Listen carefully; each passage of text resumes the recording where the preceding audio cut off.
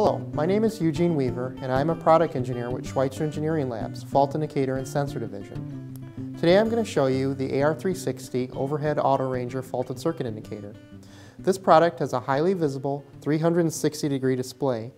It's an intelligent display that allows you to distinguish between momentary and permanent faults when you're troubleshooting circuits in the field. So let's go out to the field where I'll show you how easy it is to install this product on a circuit. The first step is to hook the product on an industry standard hot stick tool. Now that the product's on a tool, I'll bring up the clamp to an overhead conductor, pull back on the product, and engage the product onto the line. Removing the product is just as easy.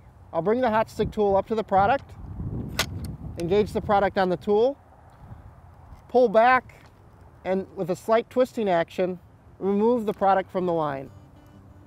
So now that you've seen how easy it is to install the AR360 fault indicator on your system, this sensor has a highly visible 360 degree display that allows you to see faults hundreds of feet away from the sensor installation point. This means that you can locate faults faster in the field, a lot of times without even exiting your truck.